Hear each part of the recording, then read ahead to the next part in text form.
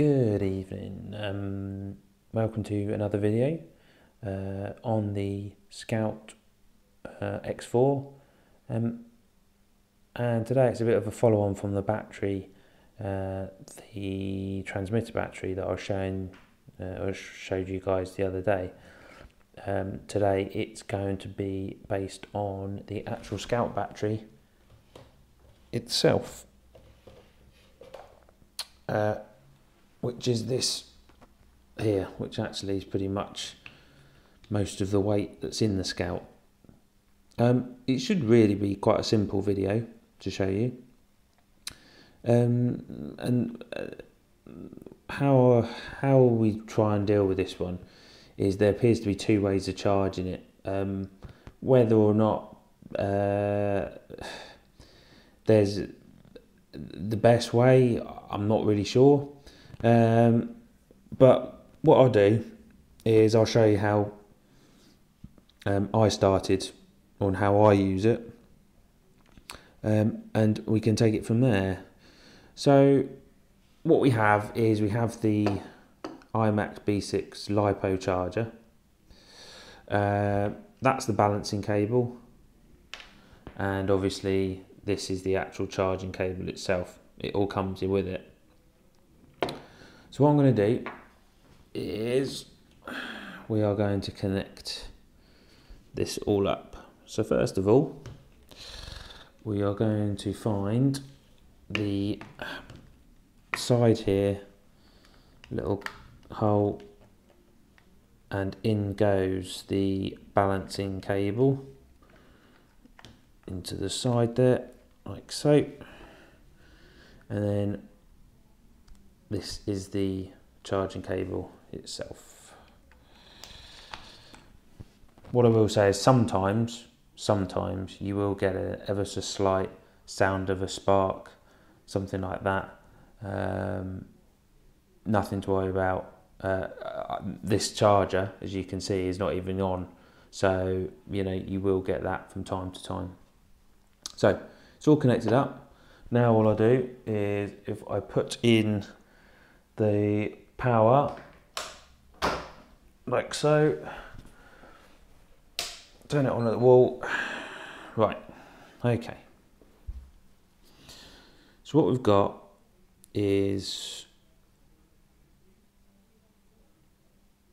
the display screen. Now again, what I tend to do is this this has been used, so there's not going to be a huge amount of power left in it. I think it's down to about 30 odd percent. So I'm going to balance it because I think there's one cell that's slightly higher than the other. So we go with balance by selecting your left and right. Enter. I prefer to keep it at 3 amps. It basically means that it's almost like it trickle charges it it doesn't just force loads of power in. Uh, it, it, it just, it will take longer, but I think it's just better for the battery. And it's six cell, so it's a 6S 22 volt battery. Hold that button down. Right, so now that's checking it. It's happy, it's confirmed that there's six cells, it's happy with everything, and it just wants me to confirm that it's ready to go and charge. So if I hit yes, right, that's now charging. So if we now go to, we won't worry about these. Right, so as you can see, it's measured all of the six cells in that in here. You see that this cell is ever so slightly higher.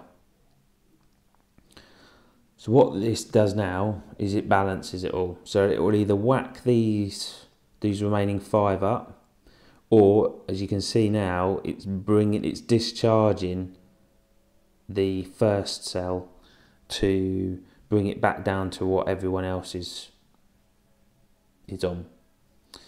Uh, you'll see it's working quite quickly to do that, and then it then brings it all back down to equal equal platform and then builds it back up, and then it then you'll start getting the, uh, the the full charge that it needs.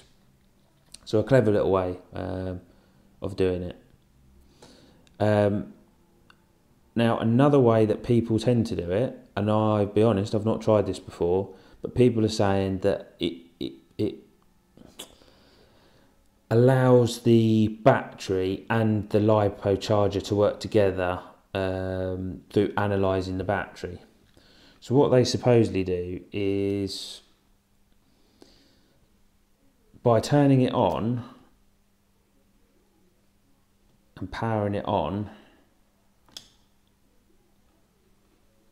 you can see there that supposedly is now telling the battery and the charger it's apparently giving it more of a feedback um, to what in here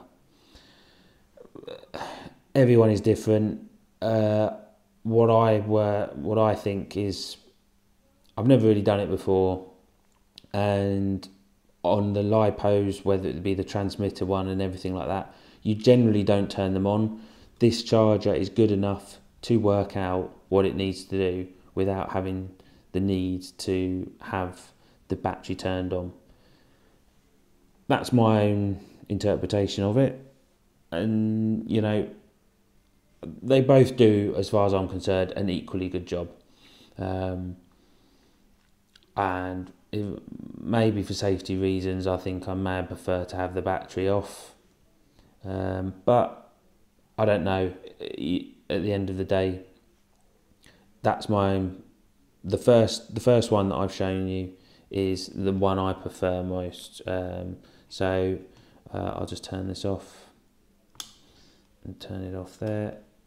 And as I say, I'm more than happy to go with the first option, which is just have the battery off and just charge it that way.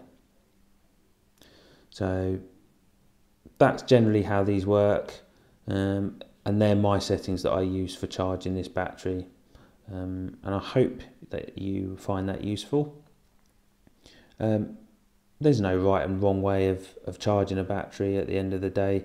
If you want it quicker, just whack up the amps, um, you know. But what I will say is do not when you're running a scout, do not fly it to pretty much the bare minimum in the battery. Lipos do not like literally being charged from the top all the way to the bottom. Uh, allow yourself at least 25 to 30% left in the battery, um, and it, then it should hopefully keep the battery in a very healthy and uh, and long uh, duration um, you do run risks, or you start to run risks when you literally drain the battery down to nothing. Um, so it's recommended that you still keep uh, 25 to 30% still left in the battery. Maybe on the odd occasion you could get it down further if you're really desperate and you want to fly a bit longer, but generally on the whole, best to keep the battery but 25 to 30%. So that's the video today uh, and this evening on the 6S LiPo battery that comes with the Scout. Um, thanks for watching. Please post any comments you've got um, and please rate and subscribe to my channel for uh, further videos um, on this fantastic Walkera Scout X4. Um, more videos will be coming along uh, all the time. Thank you very much.